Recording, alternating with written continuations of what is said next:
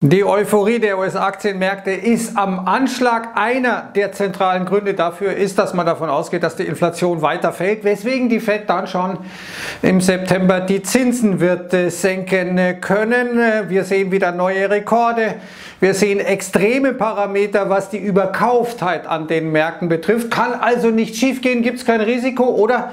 Aber ich will darauf hinweisen, dass wir einen äh, sehr krassen und eigentlich unerklärlichen Widerspruch haben bei den äh, Daten, die heute zur Inflation in den USA erwartet werden, also um 14.30 Uhr. Und wir wollen uns vor den Daten die ganze Geschichte mal anschauen. Zunächst mal, Consumer Prices expected to have cooled further in June. Man erwartet also, dass die Inflation weiter zurückgeht äh, und das begründet eben die Hoffnungen für Rate Cuts durch die Fed. Hier sehen wir mal, die Inflation hat sich ja, was die Jahresrate, also was den Vergleich zum Vorjahr betrifft, weitgehend so knapp über dieser Marke von 3% stabilisiert, nachdem wir die ganze Zeit seit ähm, 23 runtergekommen sind und und äh, hier sehen wir mal das, was die Märkte erwarten, äh, nämlich die Fed Fund Futures, wie es mit den Zinsen weitergeht. Diese dicken Punkte, das ist die Konsenserwartung, da ist die höchste Wahrscheinlichkeit. Also man erwartet, dass jetzt bei der nächsten Sitzung Ende Juli die Zinsen unverändert bleiben, dann aber September erste Senkung und Dezember dann nochmal eine Senkung. Äh, hier sagt man, Traders grow more confident in Fed äh, Rate Cut. Und warum?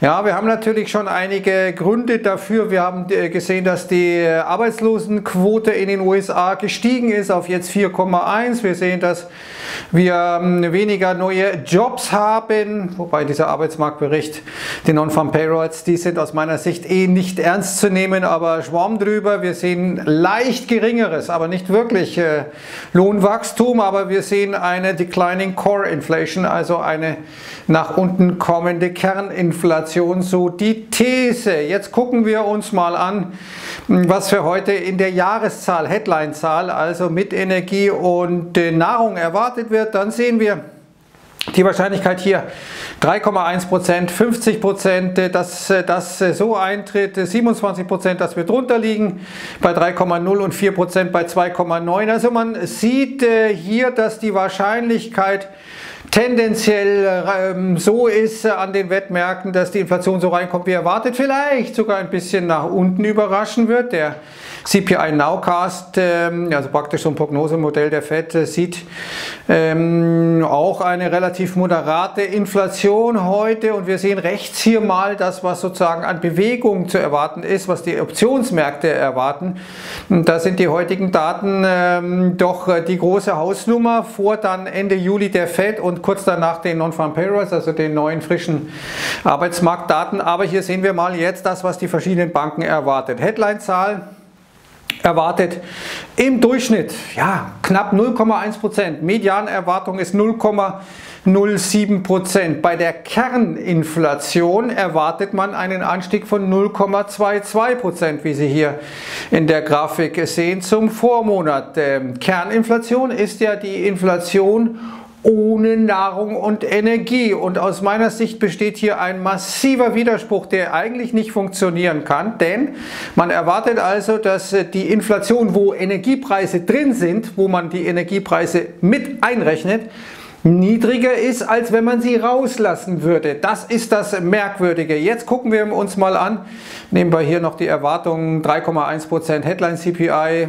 äh, im Durchschnitt und the Core, also Kernrate 3,4%. Jetzt gucken wir uns mal an, aber äh, was eigentlich der Ölpreis äh, gemacht hat, was die Benzinpreise gemacht haben, wo also wie sich Energie entwickelt hat im Juni, aus dem ja die Daten jetzt sind. Wir sehen, ich habe das hier, wo Sie links diesen Chart mit dieser Hand sehen, da beginnt der Juni und wir sehen, wir sind um und bei, glaube ich, 7% gestiegen beim Ölpreis im Juni in der Summe und wenn wir Benzin angucken, sind wir sogar noch deutlicher gestiegen. RB1 ist hier der Benzin-Future. Äh, wir sehen das auch an den Tankstellen, die Preise sind im Juni wieder gestiegen. Das ist doch eigentlich ein eklatanter Widerspruch. Wir sehen, dass die Energiepreise gestiegen sind faktisch im Juni, aber die Märkte erwarten, dass ähm, die Inflation, wo die Energiepreise enthalten sind, niedriger ist als die Inflation, wo die Energiepreise nicht enthalten sind. Das kann eigentlich nicht sein. Vielleicht haben die Amerikaner dann wieder einen statistischen, wie soll man sagen, äh, Wundergriff, wo Sie sagen, ja, aber wir haben jetzt die Energiepreise seasonal adjusted, also saisonal angepasst, weil das bedeutet, dass das, was Sie dann als Amerikaner an der Tankstelle tanken, ist faktisch zwar der Preis, den Sie bezahlen, aber nicht der Preis, den wir berechnen, gell? weil seasonal adjusted, saisonal angepasst. Ne? Also das ist äh, vielleicht das statistische Wunder, aber wenn dieses Wunder nicht passiert, dann kann das nicht stimmen, dann passt das nicht zusammen, denn die Energiepreise sind faktisch im äh, Juni gestiegen und nicht gesunken, was diese Erwartungen nahelegen würden. Und dann gucken wir uns mal den Rohstoffindex äh, an, gemessen am CRB-Index. Hier, wo Sie diese ähm, gestrichelte Linie sehen, das ist der 31. Mai also der Beginn Juni. Und wir sehen, seitdem geht es auch für die Rohstoffpreise nach oben. Mithin also latent für die Kosten äh, der Unternehmen. Wir haben ja morgen dann die ähm, ähm, nicht die Verbraucherpreise, sondern morgen haben wir die Produzentenpreise. Also das, äh, was die Firmen sozusagen äh, hier am äh, Kosten haben, an Preisen aufrufen. Und wir sehen hier zum Beispiel meine Einschätzung in diesem Institutional Letter, also einen Brief, der nur an institutionelle Investoren versendet wird, dass man hier erwartet, dass ähm, hier die Gefahr bestehen könnte, dass die Kerninflation sich ein bisschen wieder beschleunigt, weil die Güterpreise gestiegen sind, weil sozusagen diese Güterpreise Preisdeflation, die wir ja lange Zeit gesehen haben, nicht mehr so wirklich der Fall ist. Wir werden sehen, wie es reinkommt. Man äh, hat bei JP Morgan hier die Chancen und Risiken. Das könnte dafür sprechen, dass die niedriger ist, dass, äh, dass sie höher ist und so weiter. Aber wie gesagt, äh, wenn wir hier schon mal Energie uns angucken, wenn wir uns Rohstoffe angucken, dann ist äh, eigentlich zumindest die Inflation, wo Energie drin ist, sollte nicht niedriger sein als die Berechnung, wo die Inflation, wo die Energie nicht drin ist. However, wir sehen, wenn ich das noch bemerken darf hier, hier sehen Sie mal jetzt den Schiffsverkehr ums Kap der guten Hoffnung. Das ist ja jetzt die Route schlechthin, nachdem der Suezkanal aufgrund der Houthis mehr oder weniger kaum mehr angesteuert werden kann. Panama-Kanal hatte vorher Schwäche mit oder Probleme mit äh, zu wenig Wasser. Das ist, glaube ich, jetzt äh, weitgehend behoben oder zumindest zum Teil behoben. Aber hm, hier das Kap der guten Hoffnung, da geht der Schiffsverkehr deutlich nach unten. Wir sehen, wir haben jetzt kaum mehr als vor dieser ganzen Houthi-Geschichte, die ja die Schiffe da beschießen, weswegen da keiner mehr fährt, weil die Versicherungen das nicht mehr zahlen oder nur noch äh, horrende Prämien aufrufen. Also wir sehen, da ist ähm, etwas los, das könnte die Lieferketten wieder beeinflussen und dann eben auch zu steigenden Preisen führen, by the way. Aber dies nur als Nebenerwähnung. Bleiben wir nochmal bei der US-Inflation. Da sehen wir hier, ein deflationärer Faktor dürfte sein äh, die ähm, Gebrauchtwagenpreise. Das äh, liegt an zwei Gründen, warum die fallen. Erstens, weil die Preise für gebrauchte E-Fahrzeuge Elektrofahrzeuge ebenso massiv unter Druck kommen, zum Beispiel bei Tesla und Konsorten, Sorgen wegen Batterie äh, und so weiter und so fort, geringe Nachfrage. Und der zweite Grund ist, dass viele Amerikaner sozusagen sich ja Autos finanziert haben, geleast haben und jetzt ihre Raten nicht mehr bedienen können, sodass die Autos dann zurück an den Autohändler gehen, sodass der sehr viel Bestand hat. Und wenn viel Angebot da ist, dann sinken die Preise. Rechts sehen wir mal, dass wir jetzt so langsam wieder an den gleitenden Durchschnitt, an die Durchschnittswerte rankommen der letzten Jahre. Aber das nur am Rande. Aber für die Märkte natürlich entscheidend die Reaktion. Was äh, heißt das? Und gucken wir uns mal JP Morgan an. Da hat man hier die verschiedenen Modelle. Also wir gehen nach oben, wenn das und das. Und wenn wir die Wahrscheinlichkeiten mal zusammenzählen, äh, warum der Markt gewinnen wird, äh, dann sind wir da mal ganz entspannt bei 82,5 Prozent. Sieht also JP Morgan faktisch die Wahrscheinlichkeit, dass die Märkte mit diesen Daten steigen und nur eine Wahrscheinlichkeit von 17,5% zusammengezählt, warum die Märkte fallen könnten, nämlich wenn die Inflation hier CPI über 0,25% ist oder nur über 0,3%. Man erwartet an den Märkten von den Optionsmärkten eine Bewegung von 35 Punkten äh, beim S&P 500, also nicht ganz 1%. Und jetzt ist die Fed natürlich in einer äh, seltsamen Situation. Paul hat gestern Interessantes gesagt, wir kommen an den Punkt, wo der Arbeitsmarkt äh, ein Problem wird ähm, und äh, Er sagte auch das, was er schon vorher mal gesagt hat. Äh, du musst nicht warten, bis die Inflation bei 2% ist, damit du die Zinsen senken kannst. Aber faktisch sagt Paul ja dass wenn wir jetzt die Zinsen senken, dann riskieren wir, dass möglicherweise eben auch die Inflation wieder ansteigt. Das ist genau das, was eben jetzt diese Zickmühle ist. Auf der anderen Seite ist die Wirtschaft in ernsten Problemen. Das ist das, was Paul hier mit dem Arbeitsmarkt adressiert. Gestern übrigens interessant, Paul wurde gefragt, ja, wann hast du Joe Biden das letzte Mal getroffen? Da sagte er, das äh, war 2022 und es war genau am 31. Mai 2022 und da hatte Biden offenkundig ähm, klargemacht, äh, Jerome, bring mir die Inflation bitte auf 2%, sonst habe ich hier ein Riesenthema. Äh, ganz ist dieser Auftrag nicht gelungen, aber kommen wir nochmal zurück zur Wirtschaft. Da sehen wir hier zum Beispiel Hausmarkt. 6,9% der äh, zum Verkauf stehenden US-Häuser hat in äh, hat in den letzten Wochen ähm, Preissenkungen gesehen. Das heißt, die mussten ihren zunächst aufgerufenen Preis senken, weil das Haus nicht äh, verkauft werden äh, konnte. Das ist der höchste Wert, seit die Daten aufgezeichnet werden von Redfin seit 2015.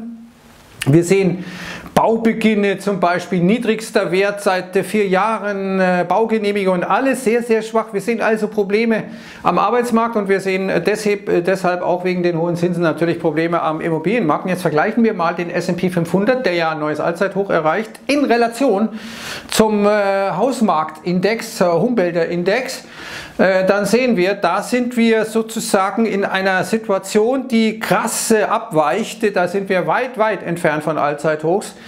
Äh, also das ist vielleicht eine interessante Beobachtung, dass ähm, hier diese Differenz, äh, diese Divergenz genauer gesagt, zwischen äh, dem S&P 500 und alles, was mit Immobilien zu tun hat, extrem krass ist. Und so sagt zum Beispiel jetzt Goldman Sachs, also hm, vielleicht könnten schlechte Nachrichten aus der Wirtschaft dann auch wirklich schlechte Nachrichten sein. Schauen wir uns unten zum Beispiel mal die Differenz zwischen dem S&P 500 und dem Dow Jones Transports an, also den Transportwerten, die ja ein Frühindikator sind für die Wirtschaft. Die ist äh, maximal krass. Übrigens auch zu Bitcoin, die äh, Korrelation zwischen Bitcoin und äh, etwa dem Nasdaq ist jetzt so gering wie schon äh, relativ lange nicht mehr. Insgesamt sind wir jetzt in den Endzügen einer sehr positiven Saisonalität. Normalerweise von Anfang Juli bis äh, Mitte Juli steigt der S&P 500 um 1%. Ich glaube, er ist schon deutlich mehr gestiegen. Wir sehen, wie die Bären äh, sich hier auf einen Baum geflohen haben, äh, voller Angst. Wir haben jetzt äh, einen, ähm, wir sind am oberen äh, Ende des Trendkanals angekommen, sind massiv überkauft und haben jetzt zum Beispiel die Bollinger Bänder beim WIX, also beim Volatilitätsbarometer, die haben sich jetzt äh, so stark zusammen oder liegen so, äh, so nahe beieinander. Normalerweise passiert dann etwas, dann hast du irgendwie plötzlich äh, eine massive Bewegung, die kommt. Äh, und äh, hier sehen wir mal, dass zum Beispiel die Tagesrange äh, beim WIX, ähm, die ist jetzt eigentlich so gering wie seit ja, Jahrzehnten nicht mehr, kann man fast sagen. Und obwohl die Märkte, die Aktienmärkte, die Indizes gestern in den USA, also Dow Jones, Nasdaq, S&P und so weiter, Russell, alle um und bei 1% im Plus waren, sehen wir, dass der ähm, WIX fast 3% gewonnen hatte gestern. Da sind offenkundig ein paar Leute dabei, äh, sich abzusichern, sehen wir jetzt auch am Optionsmarkt. Und dann haben wir solche Geschichten wie Tesla, die jetzt ähm, wie, äh, wie viele Tage jetzt, zehn Tage hintereinander gestiegen ist.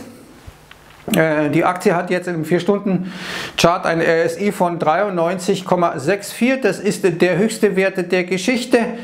Und äh, man hat mal eben 40 Prozent zugelegt, 250 Milliarden an Marktkapitalisierung für heiße Luft, könnte man sagen, die uns äh, Elöne Maske erzählt. Ähnliches Spiel bei Apple.